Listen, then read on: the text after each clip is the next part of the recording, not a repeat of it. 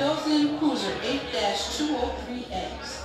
Please use extra caution as you pass the marble construction site on the side of the marble line. I repeat, proceed caution.